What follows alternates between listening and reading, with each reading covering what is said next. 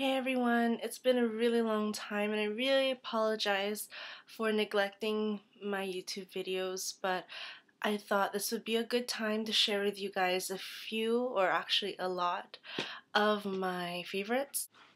I'm just going to share with you guys my shoes I'm wearing. You can change the look um, with this fur thing here. Um, and with the fur, it just looks like that. So it's really cute. I just felt like starting off with fragrances. Um, why I'm really excited about this one here. This is a Victoria Beckham signature, and I think this smells like amazingly good. So it smells very sweet, has a bit of a floral smell, but it's not musky at all. I have been wearing a lot of muskier or woody kind of smells, but this one is light and sweet. So this is a good summer um, perfume. And this perfume I am extremely excited to share with you guys. So this right here is my Swarovski perfume. And this is the Swarovski, um, the one who makes like jewelry and stuff. So it's really cute because it has like an encrusted like diamond thingy thingy there. And this is 50 ml. And it just looks like that. This has more of a musky smell and you can apparently get refills for this. And I think the refills is about $75 so you don't have to throw out your thingy because this is like a collector's piece. So look how gorgeous that is. So these are my two favorites. I know I have been raving from all my foundations. I haven't changed my mind about any of my foundations. I still love it. But right now, these ones are my ultimate favorites.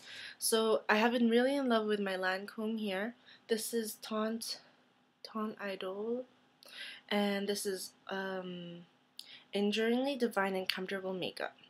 14 hour retouch free. And this is extremely matte. Maybe sometimes a little bit um, too matte around this area of my face. I think this is more of my dry area. And here everywhere else it's like really oily.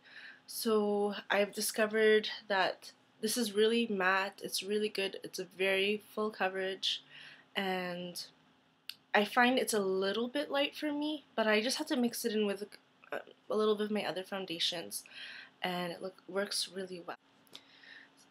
Next is a foundation I'm wearing. This is another favorite of mine, and it's Estee Lauder. This is Double Wear Stay in Place Makeup. So I have worn this at school today. It has really good coverage as well. Um, it's not as matte as this one, the Lancome one. This has more of a watery feeling. Um, it's stay in place makeup. I do think it does hold true to that. It hasn't smeared on me at all and it's not that oily but um, if you want a really matte finish I would go with Lancome or Chanel. Those are one of the best matte um, high-end foundations. Of course, with foundations, it's also important to have an off over face powder, and I have been in love with this. This is my Anna Sui, Anna Sui, um, what's this called? Loose powder. It's colored loose powder, and I love the packaging. You just have to love this packaging. Isn't it gorgeous? Because it's all black. It comes with like a purple puffer. Um, you can use a brush all over face powder brush to apply it on your face.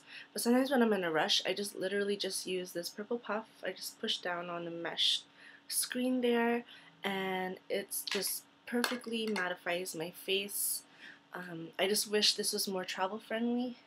I don't think this is very good for travel and I'm in shade 702. Next is a blush that I have been using every single day. Um, I really love this. It's from Dior and it's from the limited edition or limited collection. Um, this is Rose Vintage Vintage Pink. Just has this packaging. It comes with this kind of velour packet thingy. I always put it in there just to protect the packaging because it's so pretty. And the color looks like this. You can tell I use it, maybe you can tell now. Ooh, during summer I wanted to take advantage of wearing nail, polish because um, in nursing we can't wear it during clinical. These three ones. And these are quite affordable. First of all, this one is a pale, it's a pale kind of yellow. And this is called light yellow. and it's only $3.80 from Forever 21. Next is from Gosh. Gosh has to be one of my favorite nail polishes of all time.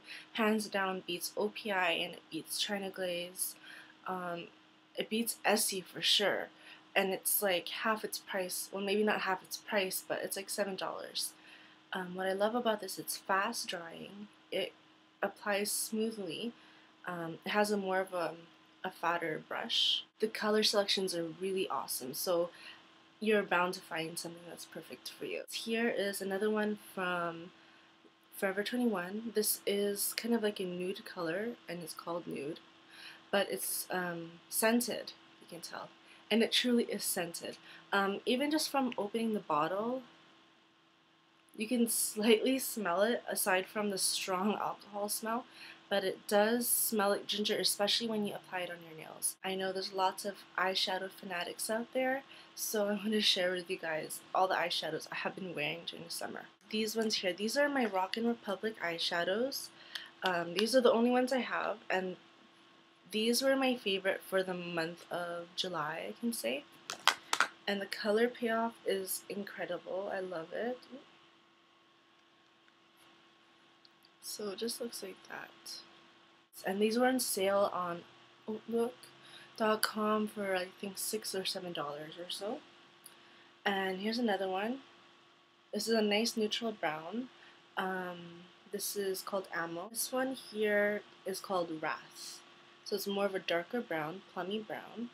Another favorite of mine that I have liked is this one right here. It's my Lancome eyeshadow palette, the color design and this is in Baumes Amour. So, it comes with those beautiful colors. You can tell I have been using it and abusing it. Um, another favorite I really like is from Chanel. I keep it in a box um, because I'm afraid of losing this little brush here. Uh, so this little brush, it's like saturated with color right now. It comes with it, which I think is really awesome that Chanel did that. What it this is is the that illusion d'ombre, and this is in the 83 Illusoire. So it comes in this packaging like this. Um, I fell in love with this color immediately. See, it's kind of like um a dark taupey um, purplish color. So you can make this in, into a nice smoky look. Lately, I have been in love with my Antiqued Veluxe Pearl MAC eyeshadow. It's called Antiqued. I love it because it's like a rusty reddish brown. I don't know if you can tell. Let's show you. I love like these rusty colors. It's kind of similar to one of my Rock and Republic eyeshadows from the um, summer collection from the MAC Me Over. Um, I have the carbonized um, Veluxe Pearl as well. I love Veluxe Pearl eyeshadow. It's very like much darker. It has a gray kind of tone to it. I keep my lippies last like usual. I'm still a lippy fanatic, so that hasn't changed. So I guess I'll share with you what I'm wearing my, with on my lips right now. It's also part of my favorites. And this is um, Jersey Rose. It's from Chanel. And I love how it has a nice light pink color. It's nothing overwhelming or anything like that, which I love. Um, the one I'm wearing with this, though, is this kind of candy colored Chanel lip gloss. It's an Aqua Lumiere, and this is in number 67. I have been wearing a lot of coral on my lips. I would do like a nude, very neutral naked eye look, and then I would pair it with this lipstick from Gosh.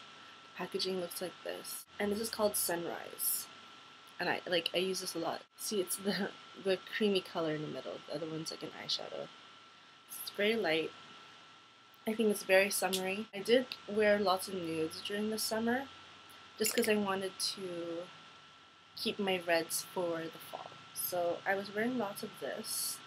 Um, it's getting kind of short now. This is Hue. It's a glaze. It's like a really baby pink kind of color. Just have a nice wash of pink on my lips. But I really missed you guys so much. Thank you guys for being so patient and thank you to all my new subscribers and thank you to all my old subscribers who have stayed with me. Guys, bye!